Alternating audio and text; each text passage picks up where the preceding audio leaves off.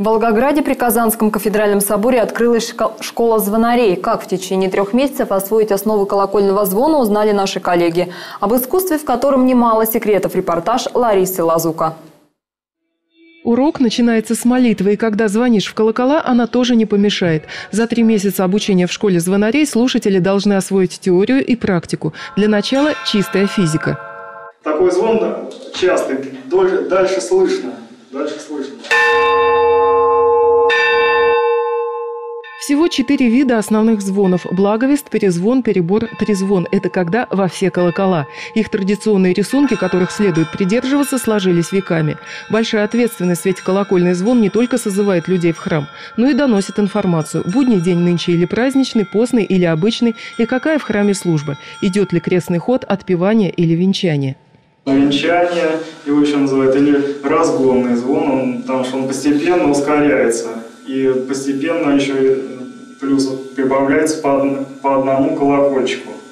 Звон называют наружным богослужением. Услышав его, человек, даже не заходя в церковь, может знать, о чем там молятся, и тоже помолиться. И есть в этом искусстве такое, что не объяснишь. У опытного звонаря звон особый. Легкость, полетность.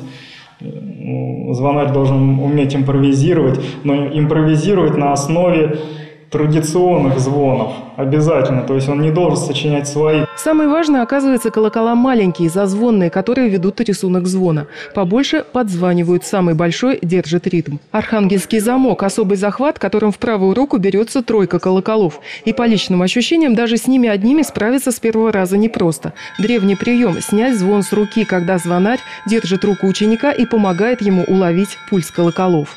Очень важно держать руку фиксировано в этом положении, то есть сохранять так называемую точку звона. Уже ее... Я уже потеряла. Вот потеряли, да, если потеряли, ничего страшного, опять.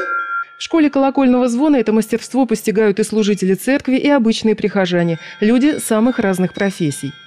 Я учусь в физкультурной академии в ГАВК, вот, на кафедре бокса тяжелой атлетики. По душе, по душе это дело, по душе вот этот эта мелодия, этот звук, колокольный звон. Раз в год в Пасху вседневный звон, когда любой желающий может подняться на колокольню и попробовать себя в качестве звонаря. У слушателей еще есть время поупражняться на переносной звонице. Во время занятий школы колокольного звона во дворе Казанского кафедрального собора стоит тишина. Все происходит глубоко в подвале. Но ученики надеются, что когда-нибудь их звон будет услышан.